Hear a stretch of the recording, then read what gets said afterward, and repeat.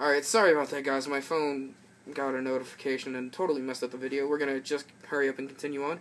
We have a, a Mermail Abyss Shield, another House Duston, Magic Deflector, nice.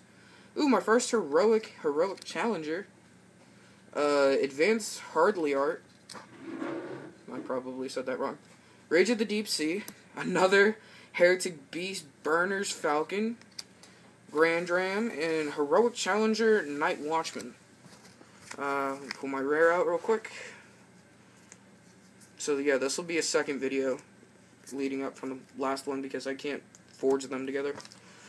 And now we have our Hidden Arsenal pack. Let's see what we get.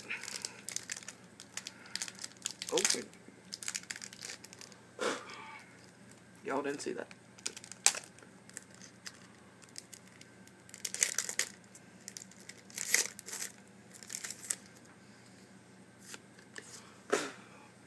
Uh, for our supers, we have Steel Swarm Sentinel, Aquamirror Illusion, Yaishiki Nola, Lava Coltal, and for our secret Gem Knight Citrine.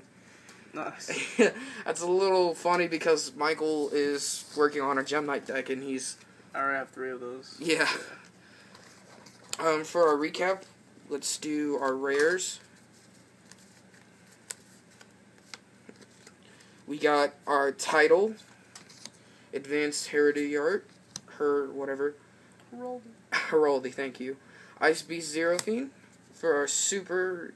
er, yeah, for our super, we got Spellbook of Fate, and obviously the Hidden Arsenals you just saw, and then our secret was secret was Wind Up Rose. Uh, like Wind up. Oh my god, I can't believe I just. Wind rose. Sorry guys, I, Just blaze. I'm trying to get this hurried up so my phone doesn't die. You're also reading upside down. So. And uh, so thank you guys. Please like, comment, subscribe, uh, and yeah, look out for Michael's deck profile coming up later today.